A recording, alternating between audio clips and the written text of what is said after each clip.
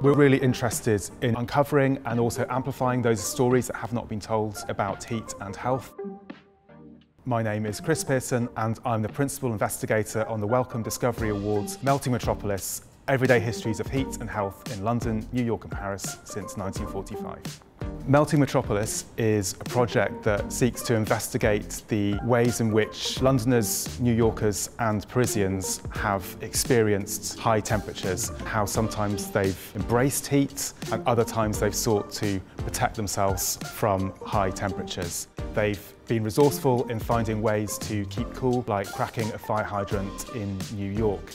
We're also really interested in exploring the histories and the past, present and future of climate justice and injustice because people experience heat differently in cities, whether that's due to their class, gender, race or disabilities.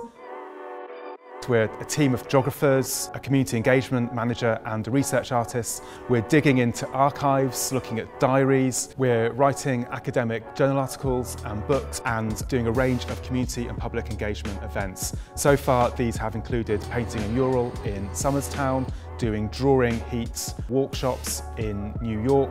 We've also done exhibitions.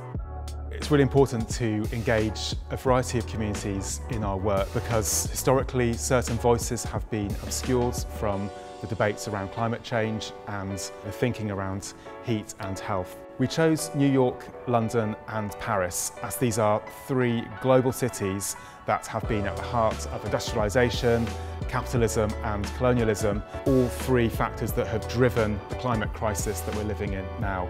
These are also very, very diverse cities Another thing about these cities is that they have a lot of 19th century buildings. So there's a real challenge about how we adapt these buildings for the summers that are coming. For us as a team, it's really important that we take a humanities approach to heat and health.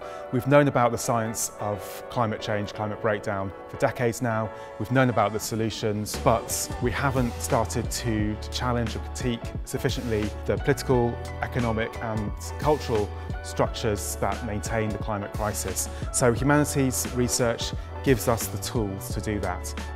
Wellcome has been a great funder. Wellcome encourages interdisciplinary research projects, so we were able to bring together a big team that wouldn't have been possible with other funders. And also, we have funding for six years. It gives us the opportunity to build a really in-depth relationship with communities and with our partners, and also to build a legacy for the project.